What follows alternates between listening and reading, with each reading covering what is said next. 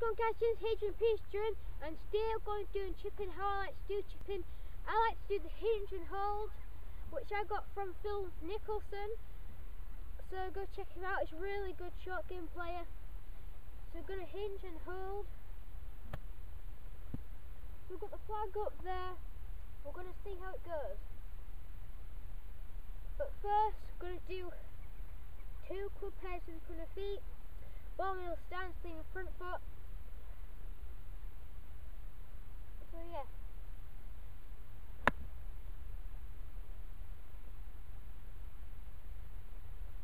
That just rolled a little bit further than I wanted it to. Let's try to get it a little bit higher and land dead.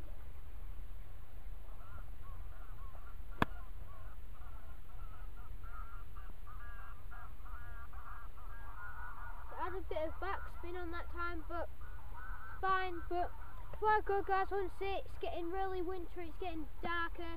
Sun's suddenly going down right now, but thank you guys for watching. I'm going to try to do as much as I can, do my long game, my short game, everything I can actually do to be a great golfer.